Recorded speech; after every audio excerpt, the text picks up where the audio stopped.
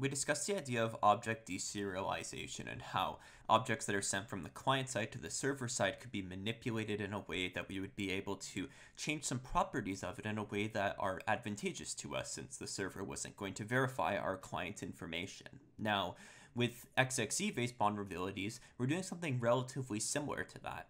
In this instance, we're sending data to the server in the format of an XML based document or XML based data inside of XML, there's this concept of an external entity. And the idea of it is it's basically a variable that points to something outside of the application and asks to load that resource in and give us that data. So in general, we could take advantage of this sort of exploit um, to send XML that has an external entity in it that points to a file that we want to try to access. In our case, we're going to again go for the etc password file just because it's a file that we know is going to be there on a Linux server, so it's nice and easy to target.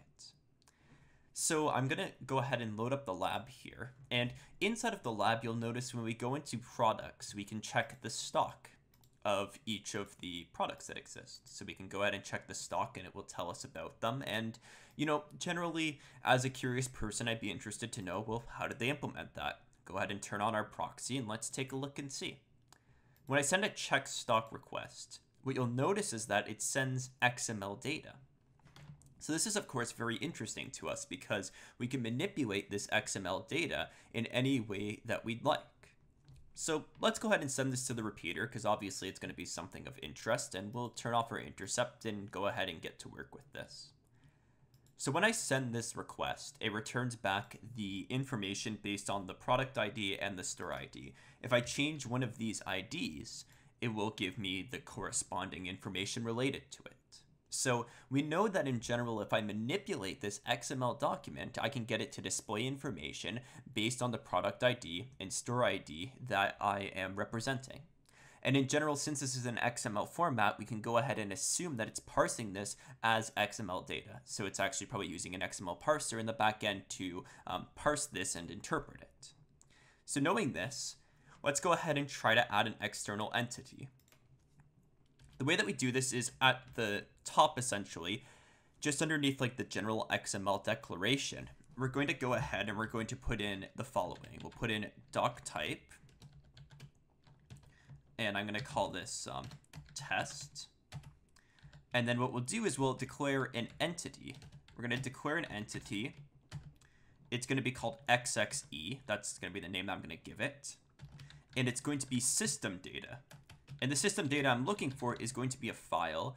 I put three backslashes because we have to escape the backslash character since that's a special character in XML. We add three instead of two. And then um, what we're going to do is we're going to give the path to what we're looking for. So in general, you could say etc slash password, right? And then of course we will close the braces that we have. So that will close off all of the brackets. And then what we need to do is we need to actually load this external entity. And the way that we do this is we replace one of these IDs with it. So I'm going to replace the ID 2 with ampersand XXE semicolon. Generally, you just want to make sure that this name here matches this name here. The ampersand tells XML that this is an external entity, and then the semicolon just terminates the line. So this is how we load it. What will happen is it will load the product ID as this external entity, which is this file here. And in general, what will happen is it will say, well, that product ID doesn't exist, and it will say no product ID found, and then leak the information contained inside of this file.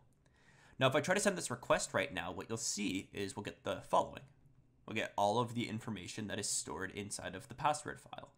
So as you can see, we're able to inject data into this XML-based format utilizing Burp Suite, so we can generally manipulate this to be able to do as we would like with it.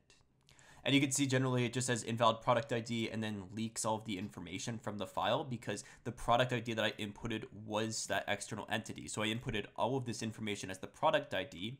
Since that product doesn't exist, it just says, oh, that product ID doesn't exist and then leaks it all to us. So this should be the general idea of XXE-based vulnerabilities. There's a lot of different variants of this that exist, and you'll be able to take a look at those through the labs, and I, I encourage you to try practicing with them now that you understand the general idea and how to manipulate them through Burp Suite. These types of vulnerabilities are very common in anything that parses XML data. So if you can ever submit XML data or something formatted like that, like SVG files, for instance, um, oftentimes you might be able to get these sort of external entities present. So this is a very nice sort of exploit to try out and be able to see if you can actually leak data like this.